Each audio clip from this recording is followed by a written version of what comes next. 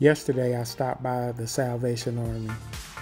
I went by the toys for a few minutes. I found this Tonka truck. Definitely vintage, a little rusted on the inside, but then I seen the price. Uh, checked the comps.